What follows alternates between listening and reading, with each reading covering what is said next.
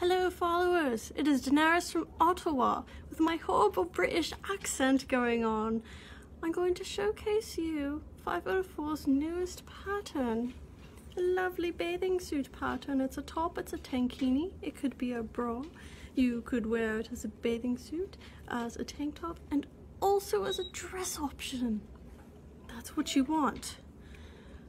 I'm tired of winter is coming. Isn't anyone else? I feel like it should be summer is coming. Summer is coming.